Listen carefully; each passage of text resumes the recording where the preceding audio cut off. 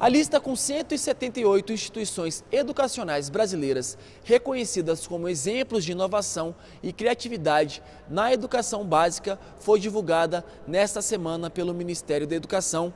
Fazem parte da lista organizações não governamentais e escolas públicas e particulares das cinco regiões brasileiras, a metade só na região Sudeste. As informações sobre o mapa da inovação e criatividade na educação básica do Ministério da Educação estão disponíveis na internet.